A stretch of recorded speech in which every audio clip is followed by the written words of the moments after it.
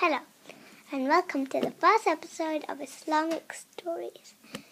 In Islamic Stories, I tell you all about the history of Islam and some fiction stories that have really good morals. Today, we are going to be listening to a fiction story called Princess Latifa and the Angry Spider.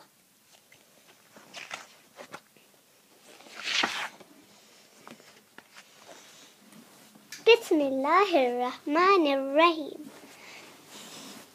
When the spring turned into the summer, a baby girl with beautiful eyes was born at the Istiqamah Palace.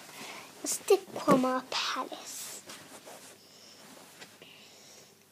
The king and queen loved the Asma al Husna, the 99 names of Allah, especially Al Latif, meaning the subtle one.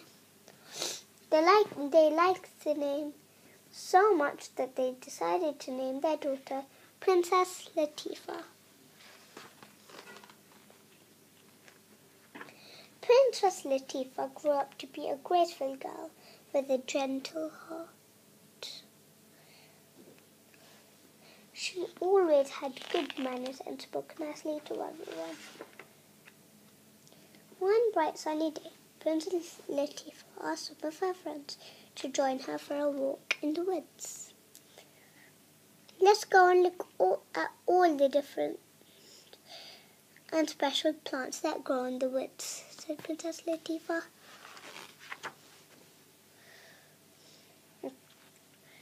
They, as they walked together in the woods, one of Princess Latifa's friends, Khadija, wasn't looking where she was going and walked straight into a spider's web. The large purple spider was very hungry that his web was broken and bit Khadija on the arm.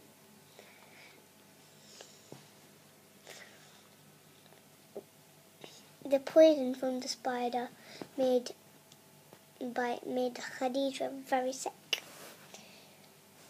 Princess Latifa and the other friends were all worried about their friend Khadija as she had two big bite marks on her arm.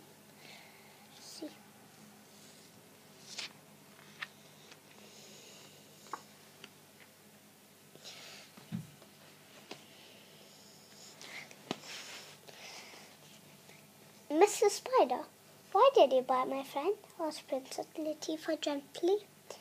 Because she broke my web, and I have spent a lot of time and effort spinning that web, said the spider in a very angry voice. We are so sorry, Mr. Spider. It was an accident. We didn't mean to break your web, apologized Princess Latifa. My friend is feeling very sick. Can you please help her to get better? asked Princess Latifa kindly. No, I need my web rebuilt, yelled the angry spider. We are sorry, Mr. Spider, we broke your web. We will re- rebuild you another one, just like new. said Princess Latifa. Princess Latifa had a plan. She ran back to the castle and borrowed a ball of golden silk thread from the royal dressmaker and rush back to the woods.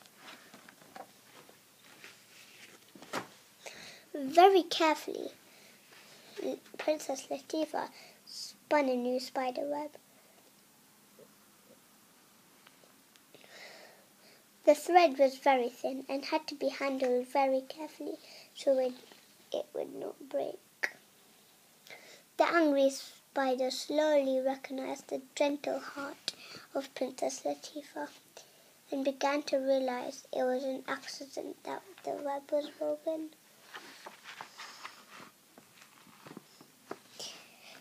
Alhamdulillah, it's done!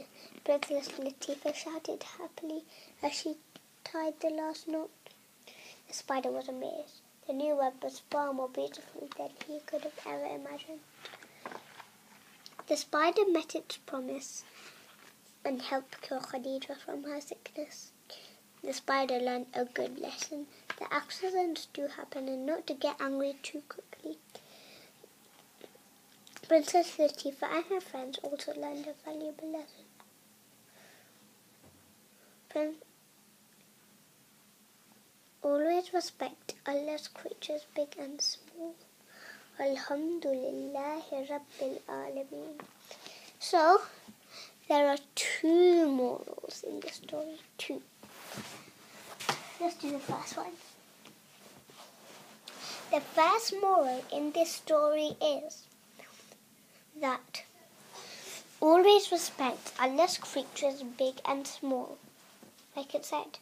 The second moral kindness always leads to other kindness. Kindness has a chain. See how Princess Latifa was kind? The spider was kind back to repay her kindness. So kindness always has a chain. That's the moral of that story. Thank you for listening to our first episode of Islamic Stories. Hope I see you again next time. Goodbye.